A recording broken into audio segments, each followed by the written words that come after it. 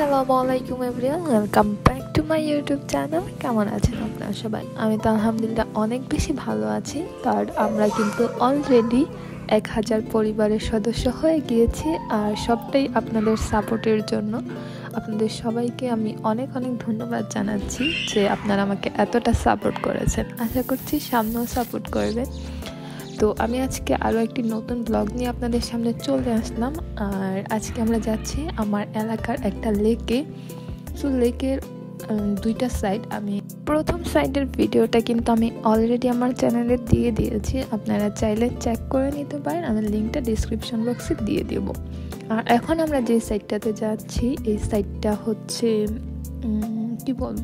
ওই tourist place বলা যায়। কারণ এই সাইডে অনেক দূর থেকে মানুষ আসে দেখার জন্য।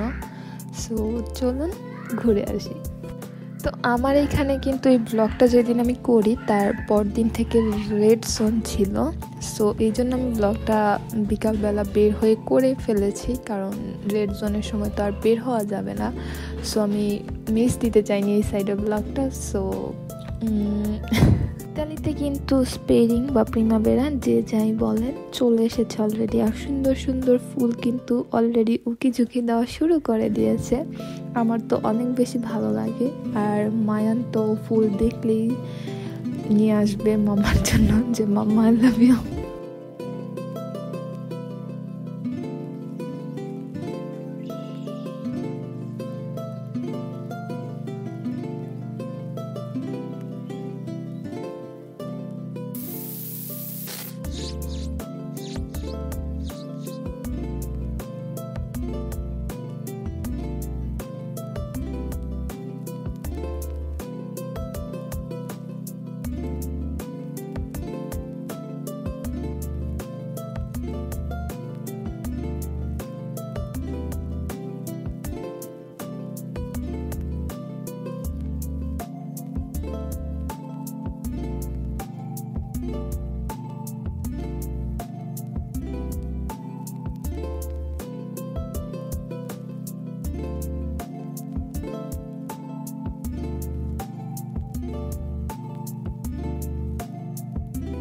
আমার বাসা থেকে লেকে যেতে মাত্র পাঁচ মিনিট লাগে গাড়ি দিয়ে বাট হেঁটে গেলে অনেক দূরে মনে হয় সো আমরা গাড়ি দিয়ে যাচ্ছিলাম।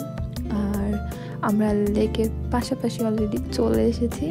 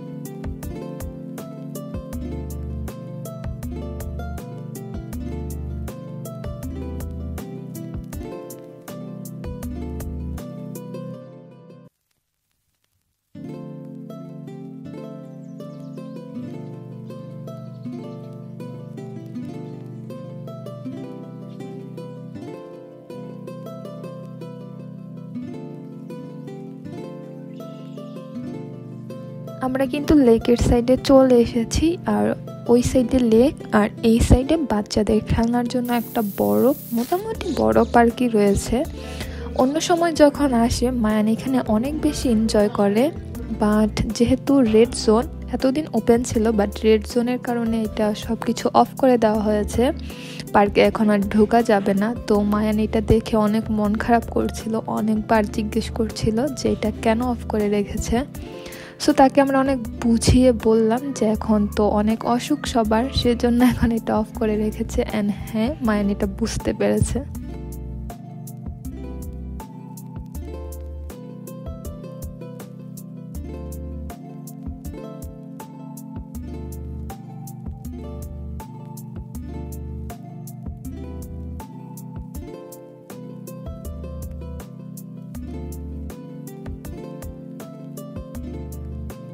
তো এখন আমরা হেঁটে লেকের সাইডে যাচ্ছি।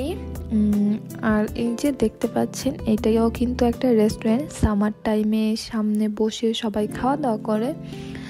মানে মায়ান আর মায়ানের পাপা এখন যেই জায়গাটা দিয়ে পাস হচ্ছে বাট কোভিডের জন্য এগুলো এখন সব উঠিয়ে রেখেছে, এখানে বসার অনুমতি নেই আপাতত। বাট তারপরেও আমি দুই দিন আগেও যখন গিয়েছি, মানুষ অনেক কম ছিল বাট লাস্ট এই ব্লগটা আমি শনিবার দিন করি সো উইকেন্ড যেহেতু মোটামুটি মানুষ ছিল।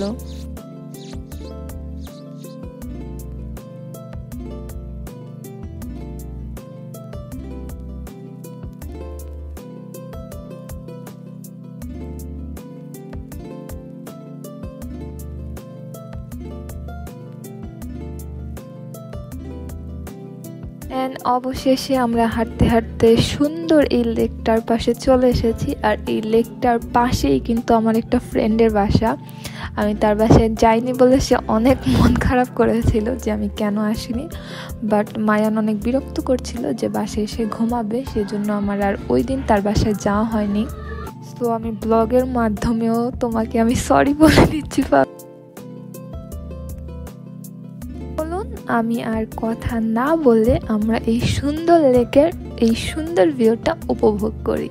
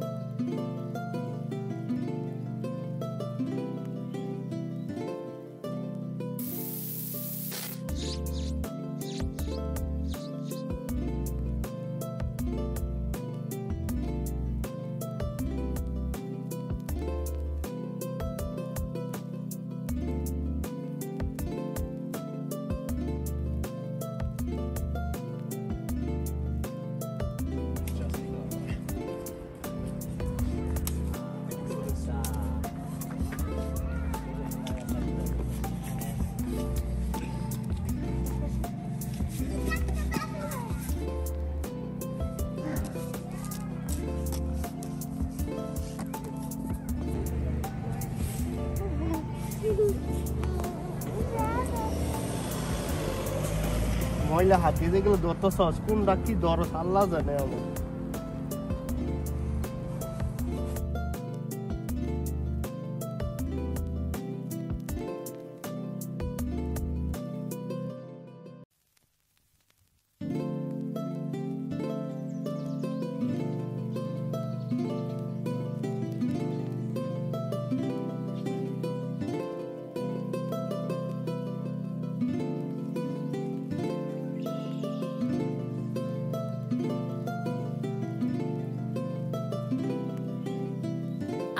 আমরা কিন্তু হাঁটতে হাঁটতে একদম ব্রিজের কাছে চলে এসেছি আর এই ব্রিজটা দিয়ে ব্যারগামো আসা যাওয়ার জন্য এই ব্রিজটা, মিলান টু ব্যারগামো। সো ব্রিজের ওই পাশে আচ্ছা একটা ইন্টারেস্টিং জিনিস হলো, আমি জানি না এই বাসাটায় কেন এরকমভাবে সাজানো বাট আমি যতবারই এটা দেখি, আমার অনেক বেশি ভালো লাগে। আসলে এটা ওরা টপ টপ হিসেবে মনে হয় ব্যবহার করেছে বাট দেখতে কিন্তু ভালোই লাগছে।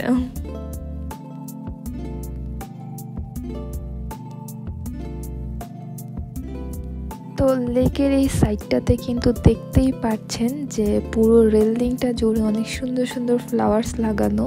আর এটা আমার অনেক বেশি ভালো লাগে। আমি তো দাঁড়িয়ে দাঁড়িয়ে অনেকগুলো ছবি তুলেছিলাম ফ্লাওয়ার্সগুলার আর সামারে বা স্পেরিংয়ে একটু ফ্লাওয়ার দেখলে কিন্তু অনেক ভালো লাগে। আর এই লেকটার পুরোটা সাইডে পুরোটা রেলিংয়ে ফ্লাওয়ার ছিল।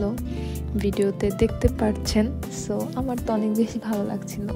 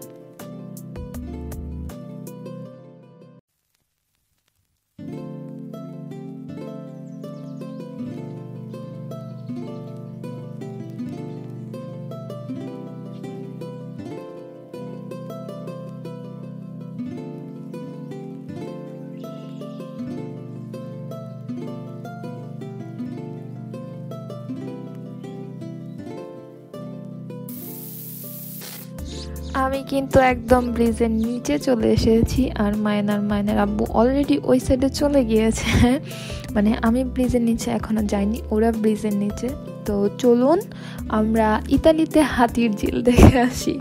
মানে আমার কাছে হাতির ঝিল, হাতির ঝিলে ফিল হচ্ছিল সো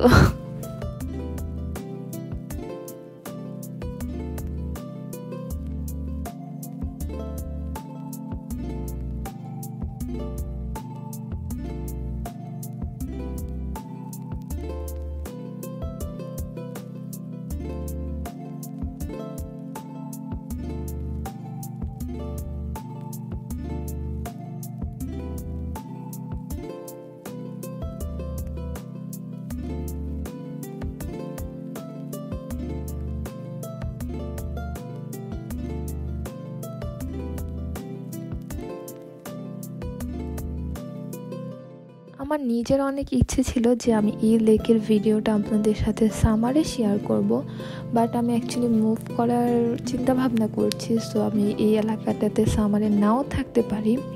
তো আমি চিন্তা করলাম যে যদি মুভ করি, অনেক আফসোস করব যে এত সুন্দর একটা লেক আমি কেন ভিডিও করে রাখিনি। আবার দূরে কোথাও গেলে ওইখান থেকে এসে ভিডিও করাও পসিবল না, হবে কি না জানি না। আর এখন যেহেতু এত কাছে আছি অ্যাকচুয়ালি চান্স না নিয়ে আমি এখনই ভিডিওটা করে ফেলি। ইনশাল্লাহ যদি সামারে আমি মুভ না করি, তাহলে আমি অবশ্যই সামারের ভিউটাও আপনাদের সাথে শেয়ার করব। আমি কিন্তু আর সামনে যেতে চাচ্ছিলাম না, কারণ আমি হাঁটতে হাঁটতে হয়রান হয়ে গিয়েছি বাট মায়ান আর তার পাপা তারা আরও হাঁটবে সো তারা আমাকে রেখেই চলে গিয়েছে। তো আমিও ভাবলাম যাই আর একটু সামনে, আর একটু সামনে সুন্দর একটা গাছ আছে। ওই গাছটা আমার অনেক বেশি ভালো লাগে। অ্যাকচুয়ালি না, গাছের কাছে গিয়েই বলব।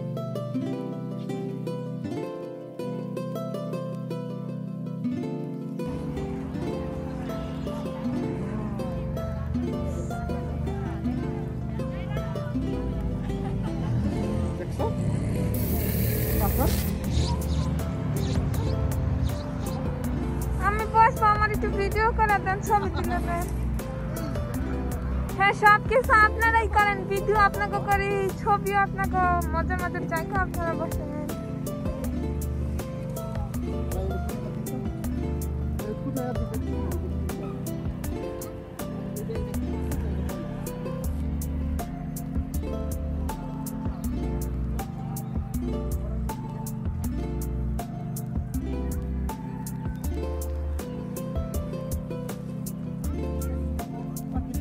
এদিকে তাকাও এদিকে ঘুরো। এই দুইজন এদিকে ঘুরেন।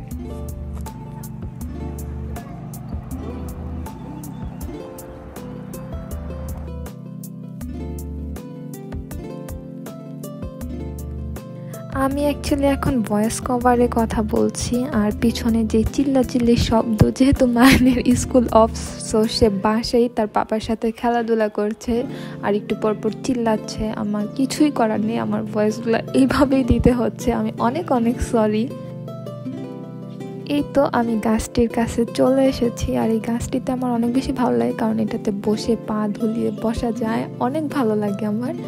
বাট আমি আজকে যখন ব্লগটি করছিলাম, তখন গাছটিতে উঠতে পারিনি। কারণ মায়ানের পাপা মায়ানকে নিয়ে বিজি ছিল আর আমি এক হাতে ফোন নিয়ে আর এক হাতে ভিডিও করছিলাম। সো আমার অনেক বেশি ভয় করছিল আমার জন্য না, আমার ফোনের জন্য। কারণ আমার ভাই আমাকে রিসেন্টলি একটা ফোন গিফট করেছে। আমার অনকে হওয়ার আগেই গিফট করেছে বাট এটা আমার অনকের উপলক্ষেই ছিল গিফটটা সো সেজন্য আমি ভয় পাচ্ছিলাম। নতুন ফোন ভয় একটু বেশি কাজ করে। তো আমি গাছটিতে উঠিনি, আমি জাস্ট একটু ওঠার ট্রাই করেছিলাম, আমি ওই ভিডিওটা, ভিডিওটাও দিয়ে দিব ব্লগে তো চলুন এই গাছটায় হেঁটে আসি।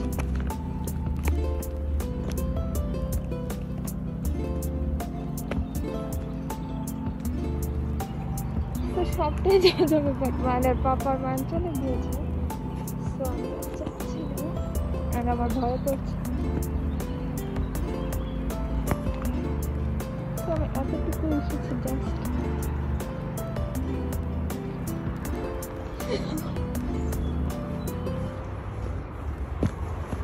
আমি জানি না আপনারা খেয়াল করেছেন কিনা বাট আমি যখন গাছটিতে উঠছিলাম, পাখির কিচিমিচি শব্দটা আমার অনেক বেশি ভালো লাগছিল।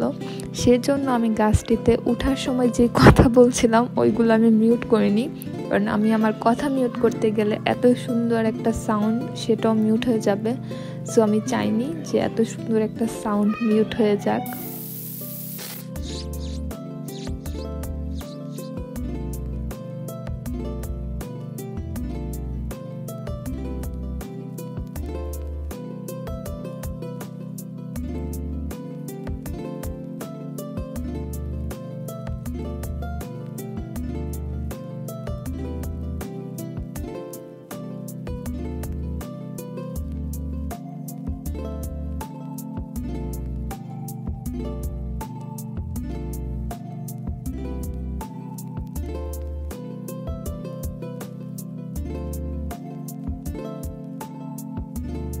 এখন আমরা আবার ব্যাক করছি যেখান থেকে শুরু করেছিলাম আর ভিডিওটা আমি আর বেশি লম্বা করব না। সো যারা আমার ভিডিওটা প্রথম থেকে শেষ পর্যন্ত দেখেছেন, আমি জানি ভিডিওটা একটু লম্বা হয়ে গিয়েছে। তারপরও যারা ধৈর্য নিয়ে আমার ভিডিওটা দেখেছেন, তাদের অনেক অনেক ধন্যবাদ। আসলে আমার আপনাদেরকে ধন্যবাদ দিলেও কম হবে। আমার এত তাড়াতাড়ি ওয়ান কি হয়ে গিয়েছে যেটা আমার কল্পনার বাইরে ছিল। বাট শুধুমাত্র আপনাদের সাপোর্টের জন্য আমার এটা এত তাড়াতাড়ি পসিবল হয়েছে। অ্যান্ড আমি আমার এই ভিডিওর মাধ্যমে আমার সব থেকে বড় থ্যাঙ্কস আমার ভাইয়াকে দিতে চাই। কারণ ভাইয়া আমাকে অনেক অনেক বেশি হেল্প করেছে বা আমাকে সব কিছুতেই হেল্প করে। ইউটিউবেও অনেক হেল্প করেছে, আমি এটা বলে বোঝাতে পারব না। অ্যান্ড আপনারা তো সাপোর্ট করেছেন। আমার হাজব্যান্ড থেকে আমার ভাই আমাকে বেশি সাপোর্ট করেছে, এটা সত্যি কথা। আমি জানি না আমি কি বলতে কি বলছি, তো আপনারা সবাই ভালো থাকবেন, সুস্থ থাকবেন। আল্লাহ হাফিজ!